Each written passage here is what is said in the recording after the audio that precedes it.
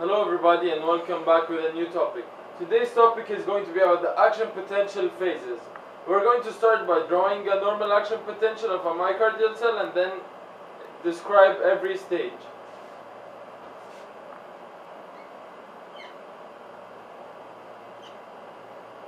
Vertically we have the membrane potential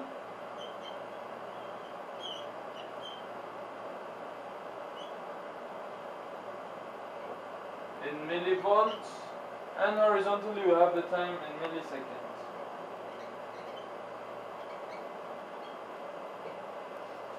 We start from negative 100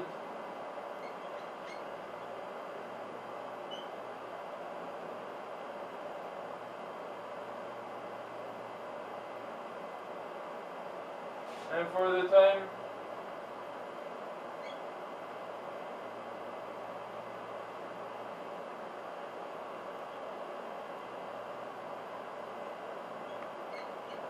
about 300 milliseconds. Okay, so for the action potential, we're going to draw it. It's usually like this.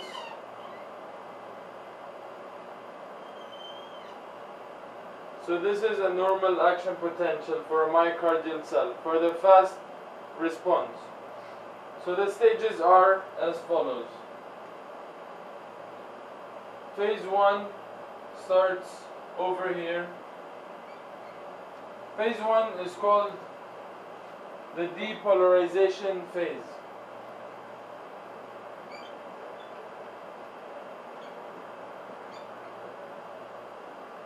Or the upstroke of the action potential.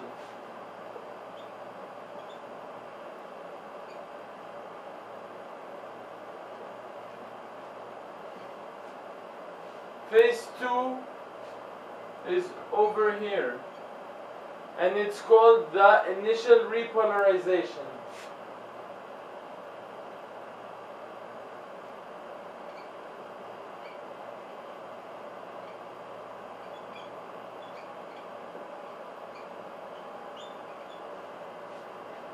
Phase 3 is over here and it's called the plateau phase.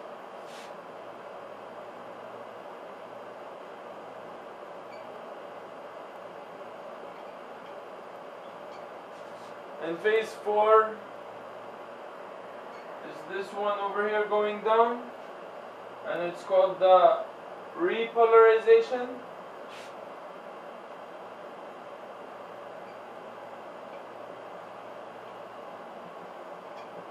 And the last phase is over here and it's called the resting membrane potential.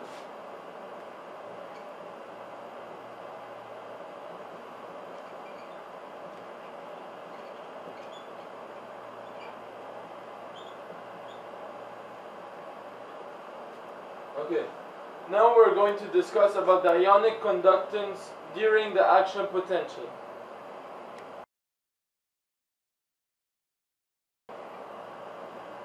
For the depolarization phase, sodium is entering the cell in very high quantities.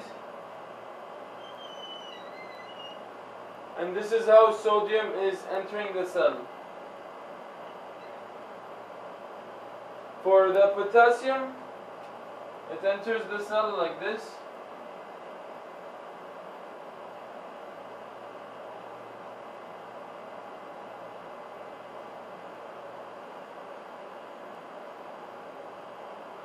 And for calcium, it is found inside the cell like this.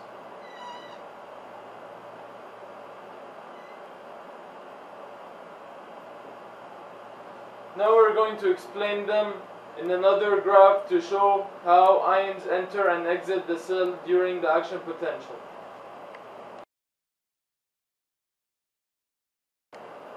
So starting with the first phase, which is the depolarization phase, the most important ion is sodium. Sodium enters the myocardial cell and this produces the depolarization.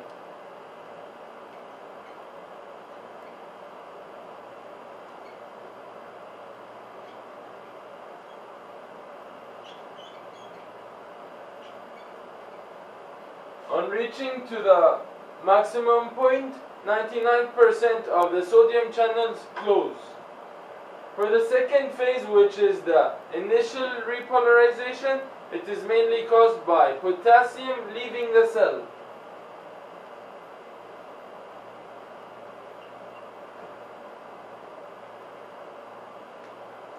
For the third stage, which is the plateau phase, it is mainly caused by calcium entering the cell and potassium leaving the cell in an equal amount.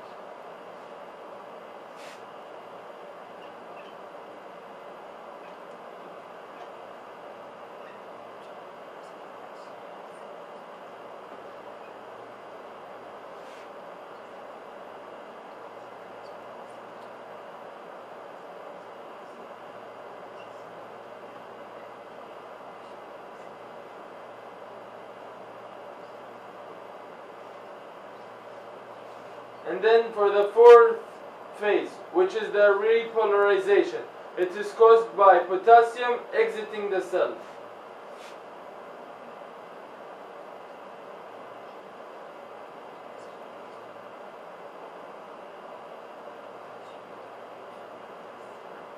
And for the last phase, which is the resting membrane potential, the cell returns back to its normal activity with normal ion conductance. So this was the action potential phases and ionic conductance. We're going to discuss in later videos details of how ions enter and exit the cell during the action potential. Thank you very much and hope to see you soon again in the next video.